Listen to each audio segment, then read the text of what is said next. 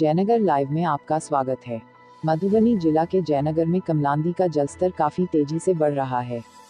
नेपाल के जल अधिग्रहण क्षेत्र में लगातार तेज बारिश होने से नदियों की जल स्तर बढ़ने लगी है।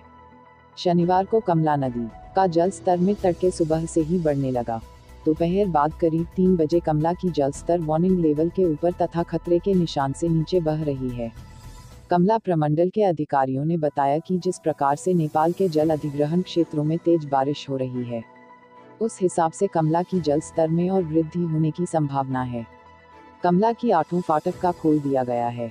हर साल हज़ारों ग्रामीण कमला में आने वाली बाढ़ से बुरी तरह से प्रभावित होते हैं।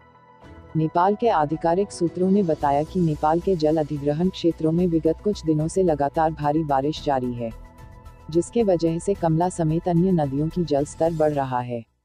जयनगर के एसडीओ शंकर शरण ओमी अपर एसडीओ गोविंद कुमार एवं सीओ संतोष कुमार ने संबंधित विभागीय अधिकारियों को आवश्यक निर्देश दिए हैं।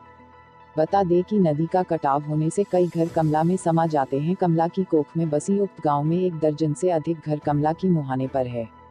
जल स्तर और बढ़ने एवं कटाव होने की स्थिति में कई घर कमला में समा सकती है। नदी किनारे बसे लोग बाढ़ को लेकर डरे एवं सहमे हुए हैं। इस आज भी लोगों की आँखों से पिछले साल की प्रलयकारी बाढ़ का तबाही का मंजल उछल नहीं हुआ है।